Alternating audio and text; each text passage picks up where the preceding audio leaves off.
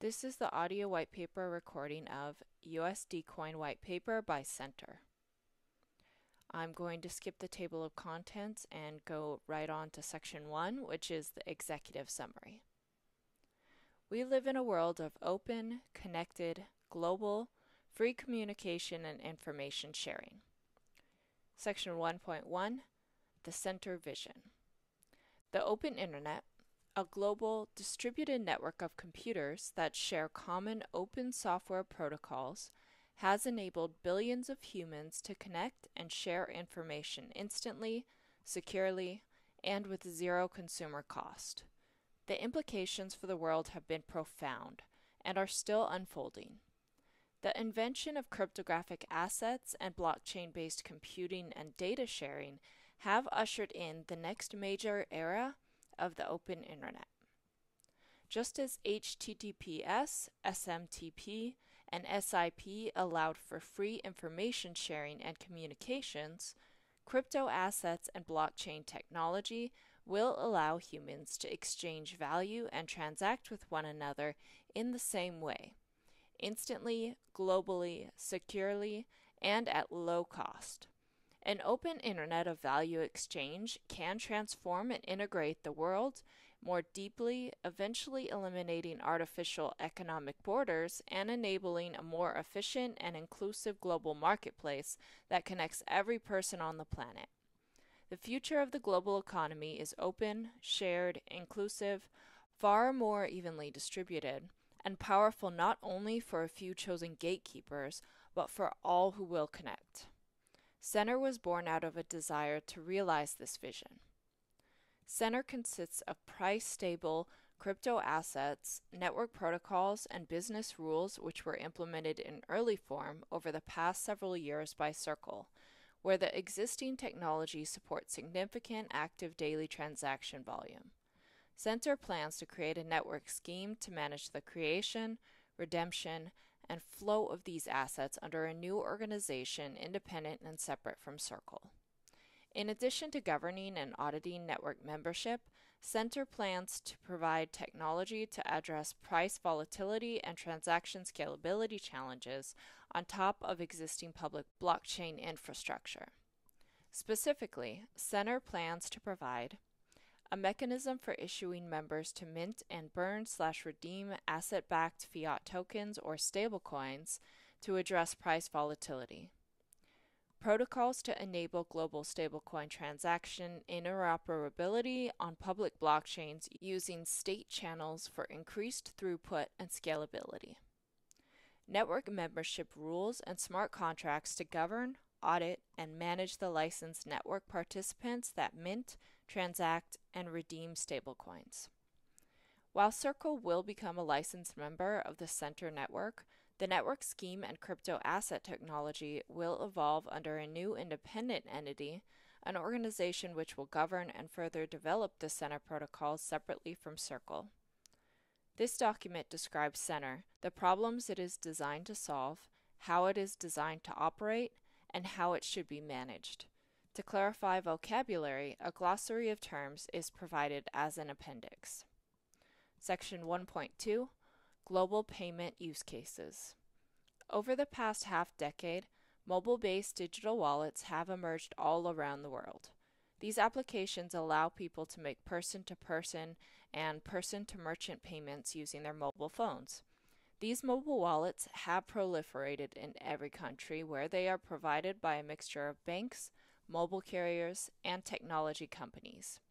Each purports to make consumer payments more seamless, yet nearly all of these exist as thin shims of software built on top of the legacy banking and card network payment system. Each one is siloed and proprietary. They live in walled gardens to borrow from the Internet 1.0 era of online services. While we can freely exchange information and content, and freely communicate in open and global ways, money and payments remain locked in the old closed world silos. Centre is designed to provide a solution and new incentives for connecting the world's disparate digital wallets. A network scheme for fiat token stablecoins that will allow money to flow between wallets the same way information moves between web browsers and servers, email between mail services, text messages between SMS providers. Centre answers the question I can instantly text someone who uses a different mobile carrier than I do, and I don't pay money to email someone who uses a different email service than I do, so why can't I use Alipay to pay someone who uses Square, to pay someone who uses Paytm in India, to pay someone who uses Facebook Messenger instantly for free anywhere in the world?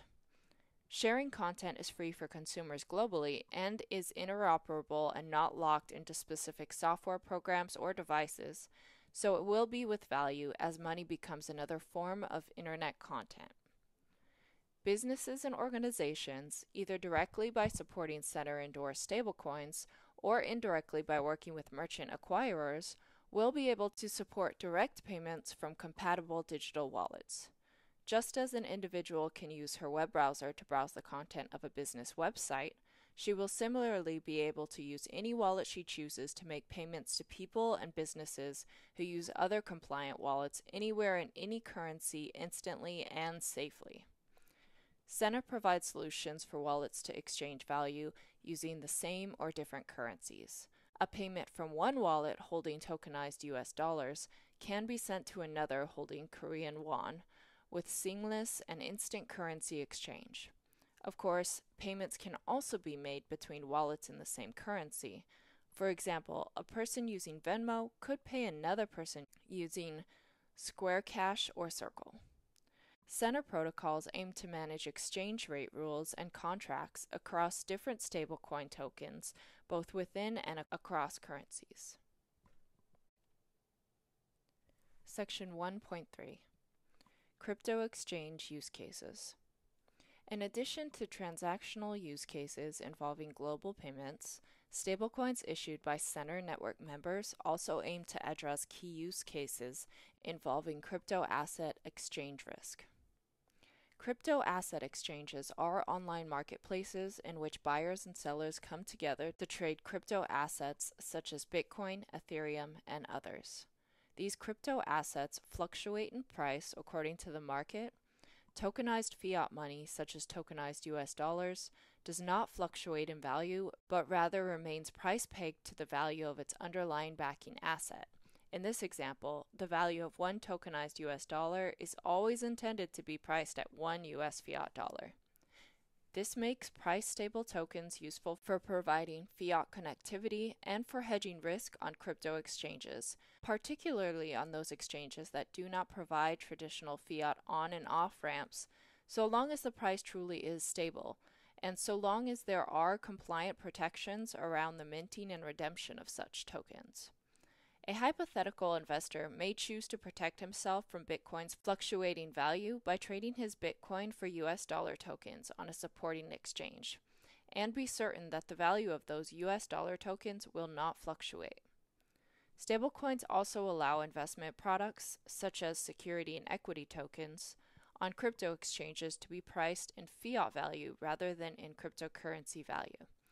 Tokens such as those designed to represent equity ownership interest in funds, structured debt, loans, dividend rights, and other investment offerings benefit from stable price pegging for both price and investment return. Finally, and most simply, many exchanges do not offer any direct on and off ramp connectivity for fiat bank accounts. On these exchanges, stable coins pegged to fiat reserves can provide the needed integration for basic trading activity across multiple token types. Stablecoin gateways, created and maintained by licensed and compliant network members, become third party fiat service providers for fiat connectivity to these exchanges. Centre provides the smart contracts and the governance that enables issuing network members to mint such stablecoins for customers who may then use them to manage risk exposure on supporting crypto asset exchanges and to invest in tokens that represent investment products. Section 1.4 Addressing the Challenges of Crypto Assets and Public Blockchains. As underlying enablers of solutions to the aforementioned use cases, blockchain technology and crypto assets promise many benefits.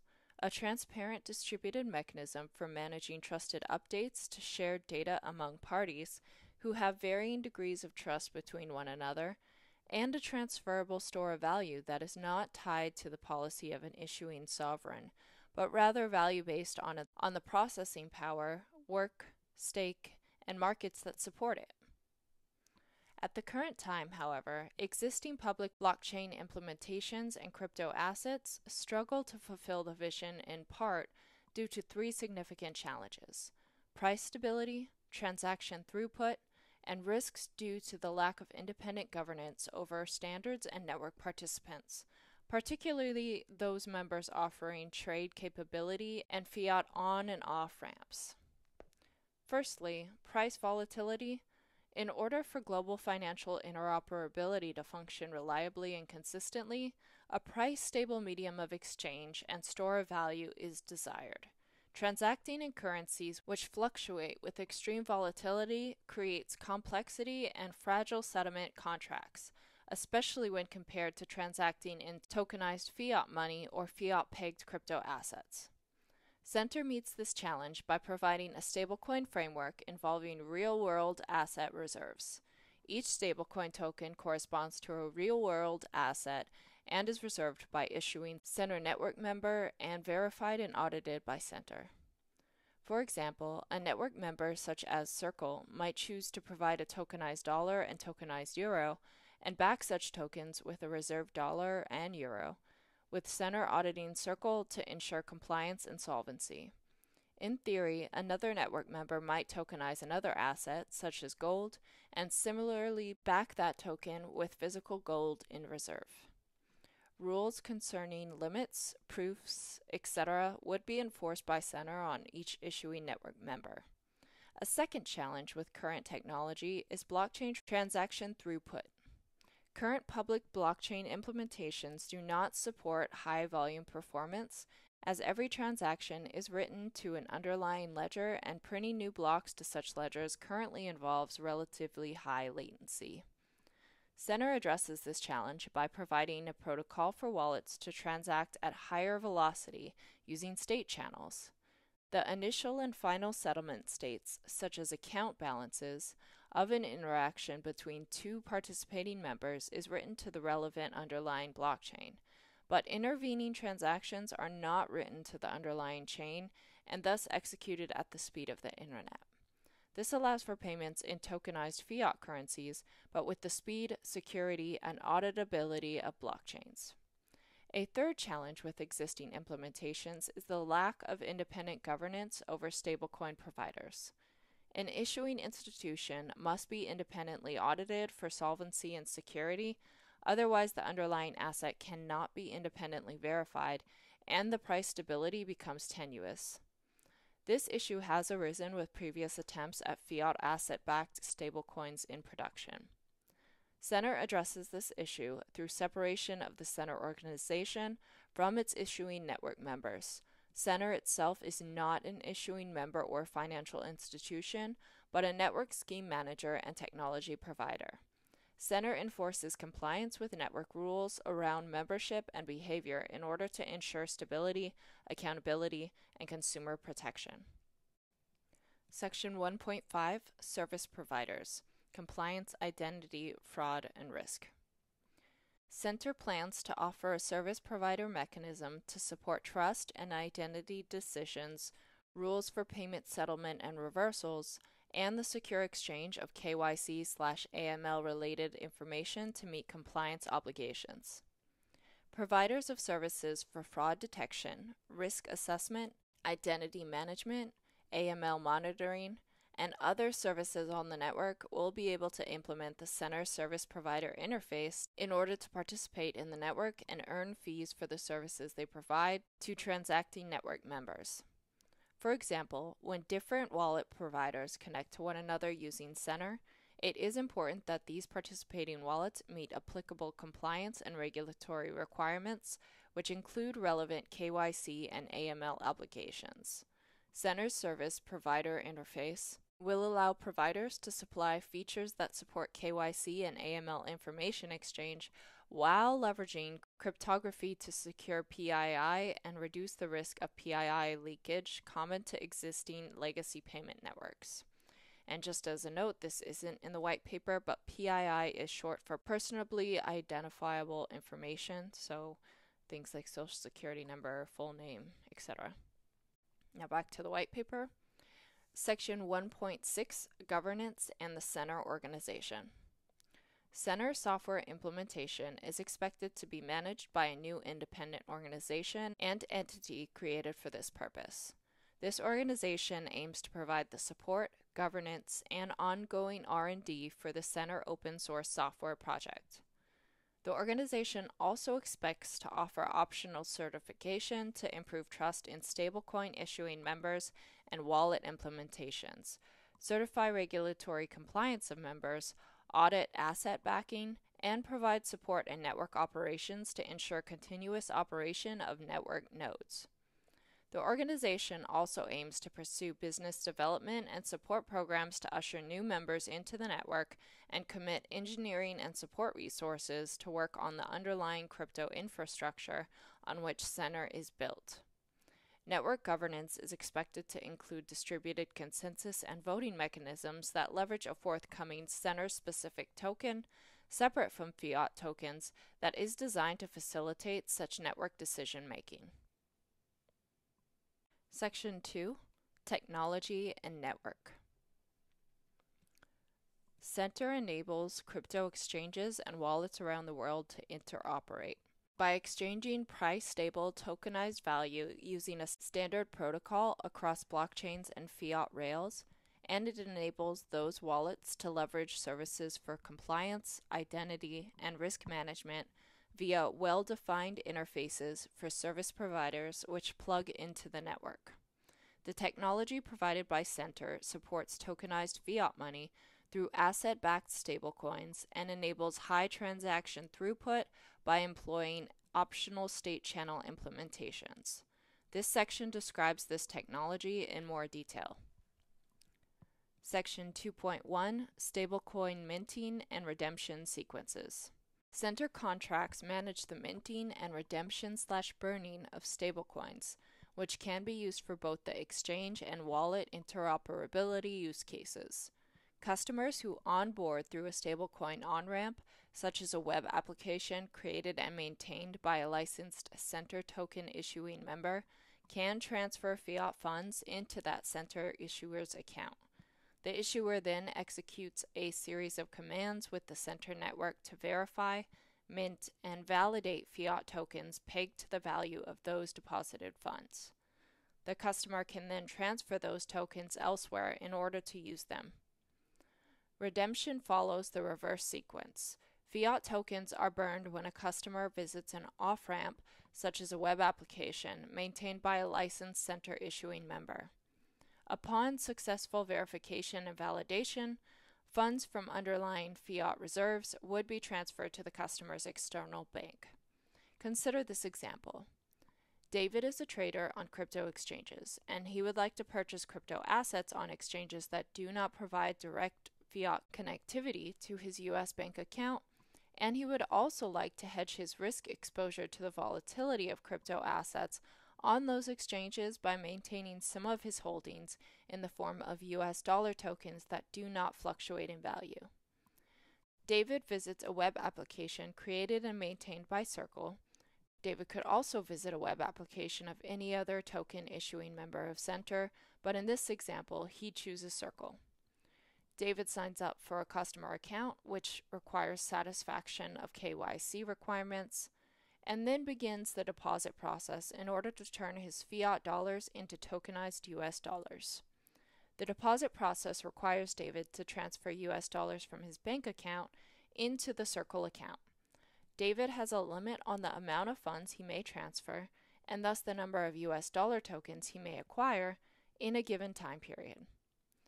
Once David's transfer settles, Circle interacts with the Centre network to execute the process required to transmit US dollar tokens to David. These tokens may be taken from existing reserves from Circle's buffer of pre funded fiat assets to increase the speed of the process. If no such reserves are available, then Circle uses the Centre protocols to mint new tokens. David then receives the tokens and the value of those tokens directly corresponds to the value of the funds he deposited into the system. David may transfer the US dollar tokens to an address in a wallet or on an exchange so that he may use them to support his trading activity. Centre maintains a blacklist of forbidden addresses in order to protect David and other network participants from known bad actors and to support regulatory compliance. When David or one of David's counterparties, who may have acquired some of the US dollar tokens, wishes to redeem the tokens and withdraw the underlying fiat dollars, then the process is executed in reverse. David returns to the issuing web application, Circle in this example, deposits the tokens into a wallet address made available to his account on that web application, and Circle executes a transfer of underlying dollar reserves into David's registered bank account. The tokens are withdrawn from circulation and either placed in reserve to service future requests or else burned slash destroyed if the value of those tokens surpasses the pre-funded fiat buffer maintained by Circle. The process is subject to authentication and authorization, verification, validation, and compliance similarly to the deposit sequence. Note that access to stablecoins need not be in a dedicated web application as it is in this example, but this could also occur in a wallet, exchange, banking portal, or other product created by a licensed, compliant, token issuing member of the Centre network.